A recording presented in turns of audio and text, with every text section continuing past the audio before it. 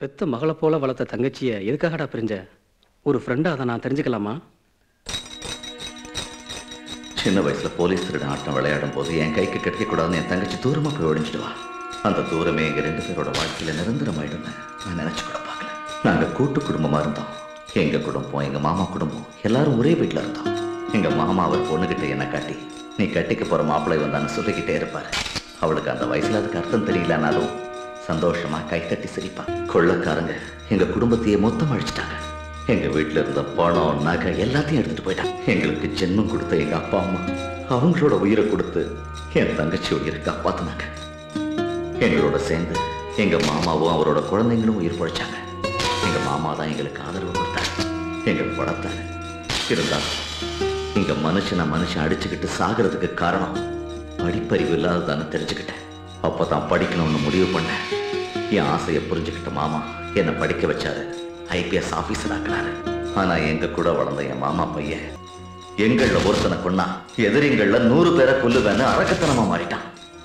எங்க மாமா வார்த்தையை தெய்வ வாக்கா மதிச்சு என் தங்கச்சியை என் மாமா பையனுக்கே கல்யாணம் பண்ணி வச்சேன். அதே நேரம் என் மாமா பொண்ணும் என்ன நினைச்சே வாழ ஆரம்பிச்சா. ஆனா என் மனசுல அவன் மேல எந்த அபிப்பிராயமும் இருக்கல. அந்த நேரத்துல எனக்கு இங்க போஸ்டிங் கிடைச்சது. வந்த இடத்துல தான் லட்சுமியை பார்த்தேன். ரெண்டு பேர் மனசும் ஒத்து போச்சு. உடனே இந்த விஷயத்தை என் மச்சான் கிட்ட சொல்லி கல்யாணம் பண்ணிக்கலாம்னு நினைச்சேன். ஆனா என் மச்சான் அதுக்கு ஒத்துக்கல. தன்னோட தங்கச்சி சாவுக்கு நான் தான் காரணம்னு என் மச்சான் என்னை கொலை பண்ண வந்தாரு. ஆனா என் தங்கச்சி குறுக்க வந்து எனக்கு உயிர் பிச்சை கொடுத்தா. என்னாலதான் தான் தங்கச்சியை இழந்துட்டோன்னு என் தங்கச்சியை என்கிட்ட இருந்து நிரந்தரமா என் மச்சான் பிரிச்சுட்டாரு. அவர் என்ன அன்னைக்கே கொண்டு இருந்தா நல்லா இருந்திருக்கும். என்னையும் என் தங்கச்சியும் பிரிச்சு தினம் தினம் கொண்டுகிட்டு இருக்காரு. நீ எதுக்கும் கவலைப்படாதடா. உங்க ரெண்டு குடும்பமும் ஒன்று சேரும். ஆமாடா. எதுக்காக சொல்றேன்னா பாரத தேசத்துல எந்த புண்ணிய நதியில புஷ்கர விழா நடந்தாலும் ஓ மச்சான் அங்க வந்து இறந்து போன தன் தங்கச்சி ஆத்மா சாந்தி அடையறதுக்காக திதி கொடுக்கறது வழக்கம். அதே மாதிரி இந்த தடவை நடக்கிற புஷ்கர விழாவுக்கு தான் குடும்பத்தோட அந்த ஊருக்கு வர போறாரா? எப்பவோ நடந்த விஷயத்தை இன்னமும் மனசுல வச்சிருக்க போறாரு. அவர் வந்தா ஒரு தடவை போய் பாரு.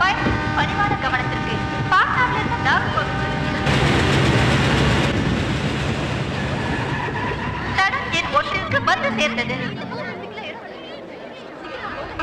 பயணிகளின் பணிவான கவனத்திற்கு காவல்துறை அறிவித்தது உங்கள் உடைமைகளை பத்திரமாக பாதுகாத்துக் கொள்ளவும். அறிமுகம் இல்லாத எந்த நபர் தரும் பொருளையும் வாங்கி உண்ண வேண்டாம் காவல்துறை அறிவிக்கிறது.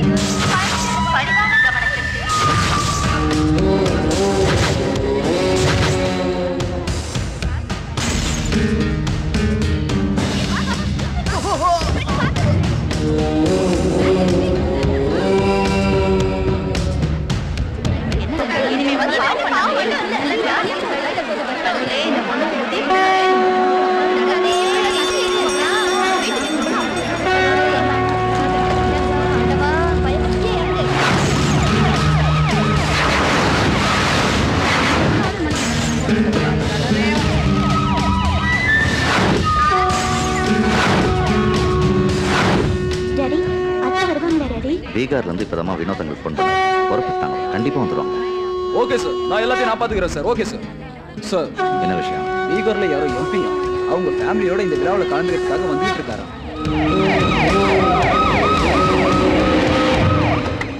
sir please wait thank you sir ஏய் பத்து நிமிஷத்துல இந்த ஏரியா காலி பண்ணுங்க ए डीएसपी दस मिनट का है को अरे वो सांबा जी साहब ये तमिलनाडु पुलिस वालों को दिमाग थोड़ा कम होता है क्या अभी देखो बिहार का कमाल दिखाओ। ये है बिहार का दिमाग। सीखो। एक मिनट चौप खाली। चल मुन्ना।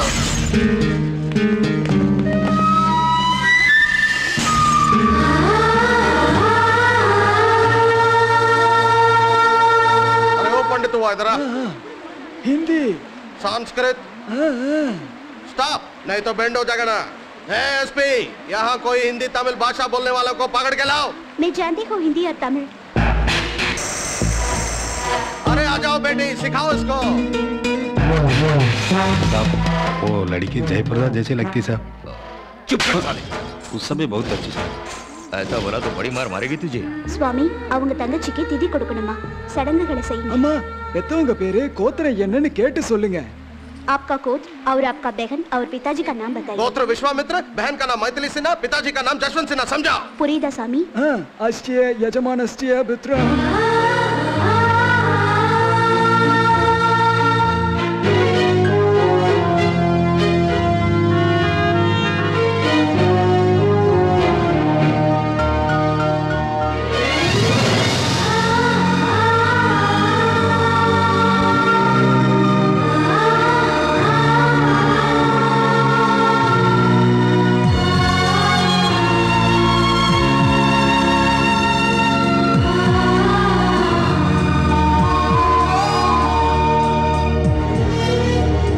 ஆமா அவங்க தங்கச்சிக்கு கல்யாணம் ஆயிருச்சா இல்லையான்னு கேட்டு சொல்லுங்க ए लड़की पागल है क्या है उधर कोई है क्या அவரு तुम्हारा தங்கச்சிக்கு கல்யாணம் ஆயிருச்சான்னு கேட்டு சொல்லுங்கம்மா आपकी बहन की शादी हुई थी हाँ हो गई थी बोलो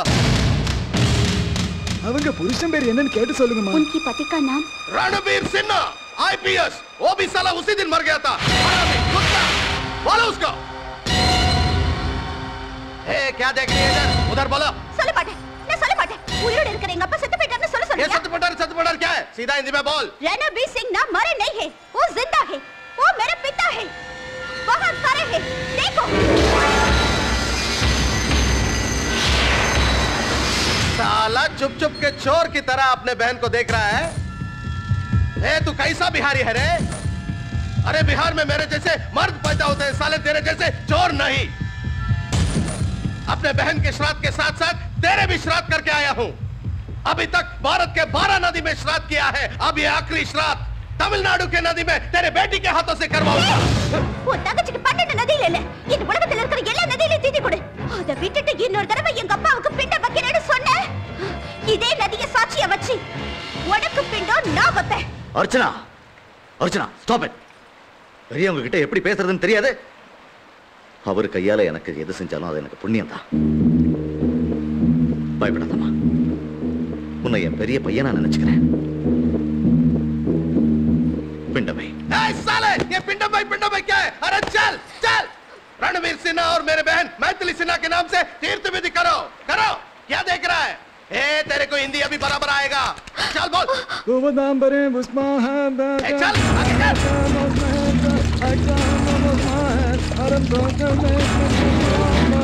जोर से बोलो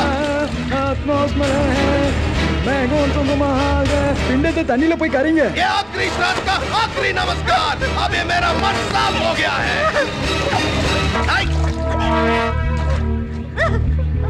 चल तमिलनाडु आके तमिलनाडु वालों के सामने तेरा श्राद्ध किया हमने, क्योंकि ये बिहार का राणा प्रताप सिन्हा है। तमिलनाडु आके साला हिजरा बन गया तू।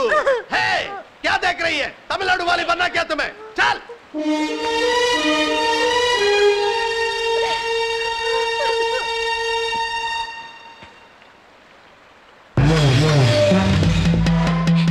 இதான்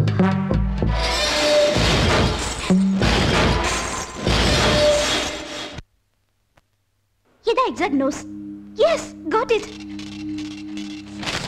suspend ஆனாலும் உன்னோட டியூட்டி எவ்வளவு சின்சியரா பாக்குறேன் இந்த பிரிண்ட் அவுட்டை நீயே கொண்டு போய் கொடுத்தா எங்க அப்பாக்கு மேல இருக்கிற பேட் இம்ப்ரெஷன் போகும்ல. போகாது. ஏன்? என் சஸ்பென்ஷன் ஆர்டர் கேன்சல் பண்ணுங்கிறதுக்காக நான் எவனோ ஒருத்தனோட போட்டோவை கொண்டு வந்து கொடுக்குறேன்னு நினைப்பாரு. மிஸ் அண்டர்ஸ்டாண்டிங்கிறது மழை வரதுக்கு முன்னால இருக்க மேகம் அது கலைஞ்சு போற மாதிரி எனக்கு அது ஒரு நாள் உங்க அப்பா என் சென்சியாரிட்டியை புரிஞ்சுக்குவாரு. ஓகே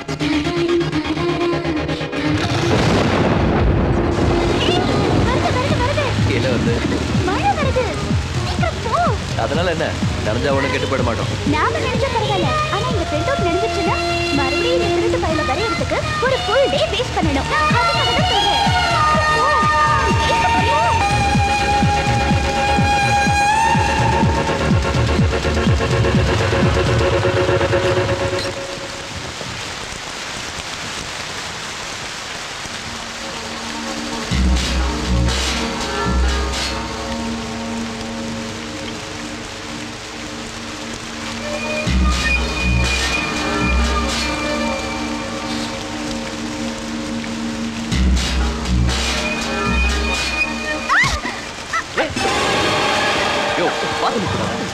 சார் சரியா பண்ணிடுச்சு sorry madam it's okay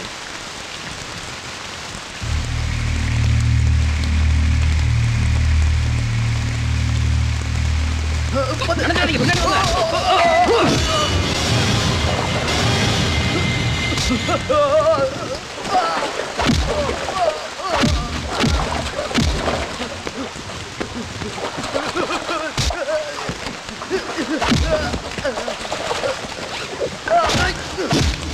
Ha ha ha!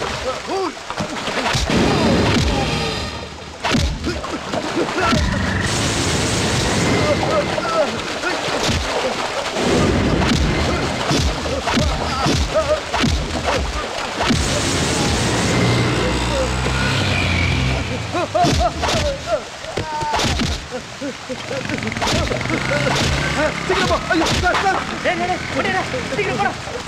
போடா. நிக்கடா. ஐயோ டேய் டேய் சீக்கிரம் போடா போடா போடா. சீக்கிரம் போ. டேய். சார் சார் விட்டுரு சார் சார் தெரியாம சார். விட்டுரு சார். சார் பண்ணு சார்.